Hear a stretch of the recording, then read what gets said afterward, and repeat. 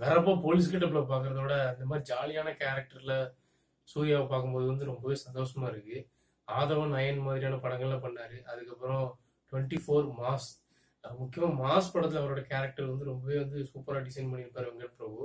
அதுக்கப்புறம் இந்த படம் அப்படின்னு சொல்லலாம். நைன்டீன் எயிட்டிஸ்ல நடக்கிற கதைங்கிறதுனால அந்த காலகட்டத்தை ரீக்ரியேட் பண்றதுக்காக நிறைய விஎஃப்எக்ஸ் ஆர்ட் ஒர்க் வந்து போயிருக்குது அப்படிங்கிறது வந்து ட்ரெய்லரை பார்க்கும்போது கிளியரா தெரியுது.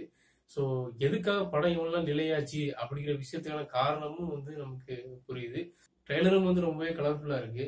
ஏழை பணக்காரன் கிடைக்கான இடையிலான ஏற்றத்தாழ்வுக்கான காரணம் நாட்டில் நடக்கிற ஊழலுக்கான காரணம் இது எல்லாத்தையும் வந்து அழுத்தமாக அட் த சேம் டைம் வந்து ஜோவியலாக சொல்லியிருக்க ஒரு படமாக இருக்கும் அப்படின்னு நினைக்கிறேன். ஸோ வேற என்ன சொல்றது? சூர்யா பார்க்கறது ரொம்ப ஸ்மார்ட்டாக இருக்காரு. கீர்த்தி சுரேஷ் பார்க்கறது ரொம்ப அழகாக இருக்காங்க. ஓவராலா வந்து அந்த ட்ரெய்லர் பார்க்கும்போது நம்ம அந்த எயிட்டி பீரியடுக்கே வந்து கூட்டு போயிருவாங்க அப்படின்னு நினைக்கிறேன். தலையும் தளபதியும் சூர்யாவுக்கு பொங்கலுக்கு இந்த தனிமையில் வழி விட்டாலும் இன்னொரு சிக்கல் இருக்கு. ஏன்னா டூ பாயிண்ட் ஓ வந்து பொங்கலுக்கு ரிலீஸ் பண்றதா வந்து அனௌன்ஸ் பண்ணியிருந்தாங்க.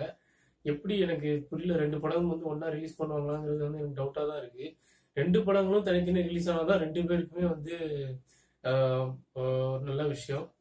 ஸோ பார்ப்போம் என்ன நடக்குது அப்படின்னு சொல்லிட்டு. ஏன்னா இன்னும் எத்தனை படங்கள் வந்து பொங்கலுக்கு வந்து அனௌன்ஸ் பண்ண போறாங்கன்னு தெரியல. இரும்பு திரை வேற ரிலீஸ் ஆகுது. ஸோ கடைசி நிமிடங்கள்ல வந்து ஏதாவது ஒரு படம் வந்து பின்வாங்கி தான் ஆகணும். சரி பார்ப்போம் என்ன நடக்குது அப்படின்னு சொல்லிட்டு. நன்றி வணக்கம்.